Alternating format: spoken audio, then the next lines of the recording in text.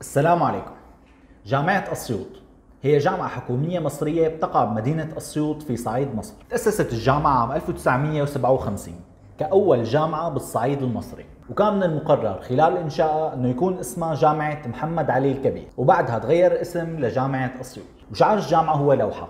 فيها شمس بتنشر أشعتها اللي على شكل أيادي على اسم الجامعة. وهو رمز للمعرفة والعطاء. بيدرس بالجامعة حوالي 120 ألف طالب وفيها 24 كلية ومعهد. أشهر رؤساء الجامعة ومؤسسيها هو سليمان حزين وزير الثقافة المصري السابق. وبتضم الجامعة تسع مشافي جامعية كلياتها بتقع بالحرم الجامعي ما عدا معهد الأورام اللي بيقع بخارجها وبتضم المشافي مراكز علاجية متنوعة بتقنيات حديثة يلي بيتدرب فيها طلاب كلية الطب.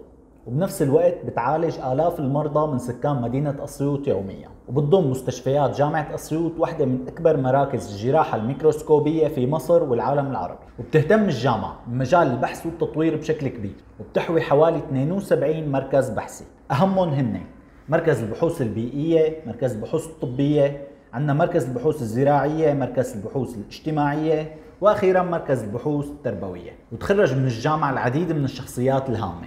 مثل إبراهيم سمك رئيس المجلس الأوروبي للطاقة المتجددة لفترتين على التوالي، الدكتور طارق جمال رئيس قسم الجراحة الميكروسكوبية بجامعة أسيوط، والدكتور عبد الباسط السيد رئيس قسم الفيزياء الحيوية بالمركز القومي للبحوث بمصر. تطورت الجامعة بالفترة الأخيرة وارتفع ترتيبها العالمي ليصل ل 820 ل 840 على جامعات العالم، بحسب ترتيب موقع QS العالمي. أما ترتيبها الأفريقي بحسب الموقع فهو 18 على الجامعات بقارة أفريقيا وترتيبها المحلي هو 8 أو 9 على الجامعات المصرية وبتضم الجامعة عدد كبير من الكليات المهمة. اشهرها عنا بالمرتبة الأولى هي الكليات الطبية ومدينة أسيوط مشهورة بوجود مشافي متطورة بأسعار مناسبة بالإضافة إلى عدد من الكليات مثل كلية الهندسة كلية التربية كلية الآداب عندنا كلية الحقوق وكلية العلوم.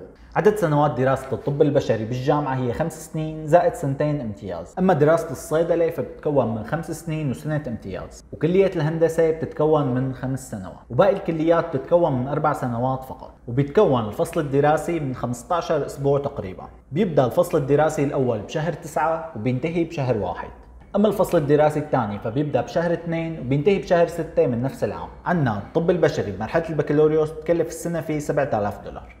أما الدراسات العليا فكمان بتكلف 7000 دولار سنويا. طب الأسنان 6000 دولار للبكالوريوس و6000 للدراسات العليا. الهندسات بشكل عام 6000 دولار للبكالوريوس و6500 دولار للدراسات العليا. أما بالصيدلة القسط السنوي للبكالوريوس هو 6000 وقسط الدراسات العليا 6500 دولار. العلاج الطبيعي 5000 دولار بكالوريوس و5500 دراسات العليا. طب البيطري 5000 دولار بكالوريوس و6000 دولار الدراسات العليا. والزراعة والتمريض واختصاصات كلية العلوم بشكل عام إلى نفس السعر دراسة البكالوريوس اللي هي 4000 أما للدراسات العليا فيها الماجستير والطب فهي 5000 دولار سنويا. وبالنسبة للطلاب الأجانب في عندهم رسم قيد تدفع مرة واحدة حوالي 1500 دولار. وهذا بغض النظر عن المعهد أو الكلية اللي عم يدرسها الطالب. وهلأ ننتقل لشروط التسجيل والمعدلات المطلوبة من قبل الجامعة. عندنا لدراسة الهندسة بالنسبة للطلاب الوافدين تطلب الجامعة معدل 65% معدل شهادة ثانوية. وبالنسبة لدراسة الطب فبتطلب 75% كحد أدنى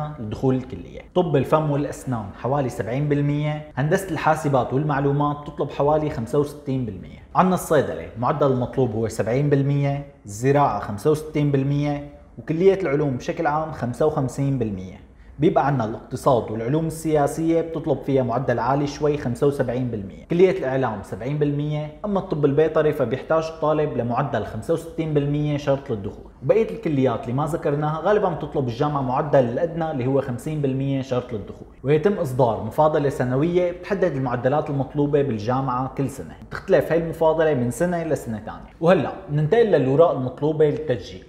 عندنا أول شيء صورة عن جواز السفر.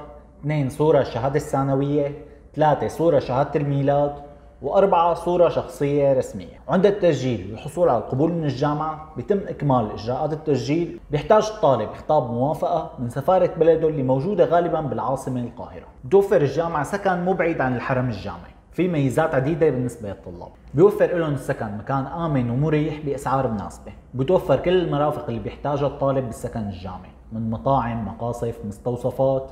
وسوبر ماركت وكمان بتوفر لهم فرصة ليتعرفوا على طلاب جدد من مختلف الثقافات والخلفيات. وأسعار التسجيل بالسكن هي أسعار رمزية ولكن موضوع الحصول على غرفة بالسكن بجوز يكون صعب شوي بسبب وجود عدد كبير من الطلاب وعدد محدود من الأماكن الشاغرة. بالنسبة لمواعيد التقديم فهي مرتين بالسنة.